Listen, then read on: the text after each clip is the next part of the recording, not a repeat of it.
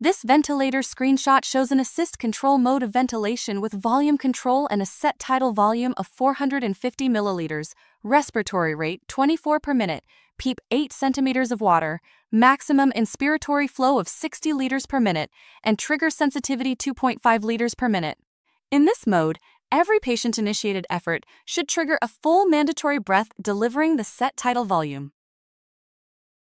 The first breath appears to be patient triggered, demonstrated by a tiny negative pressure followed by a small rise in pressure before it drops down to approximately 11 centimeters of water, indicating a strong inspiratory effort of the patient. Correspondingly, the flow waveform shows a rapid rise to the set maximum inspiratory flow of 60 liters per minute with a decelerating flow pattern as the ventilator delivers the set 450 millimeters tidal volume. As the ventilator attempts to cycle into expiration, the patient continues generating a forceful inspiratory effort, immediately triggering a second full mechanical breath with virtually no intervening expiratory phase. This produces a second rise in the volume waveform that stacks directly on top of the first breath's delivered volume, effectively creating two back to back tidal volumes.